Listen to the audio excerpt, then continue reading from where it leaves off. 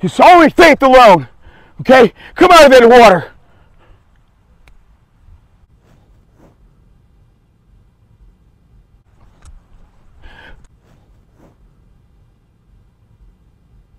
Right now, come out of that water. Come on. Come on. Just to save you.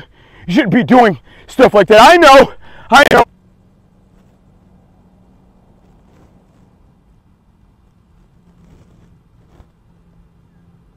I, read where the, the, the so-called uh, uh, angel or Nephilim came down and told you to go into a street and meet somebody. Yeah, I know when you were there, you know, the, this, the Holy Spirit told you to join yourself to the chariot. But all this is in vain.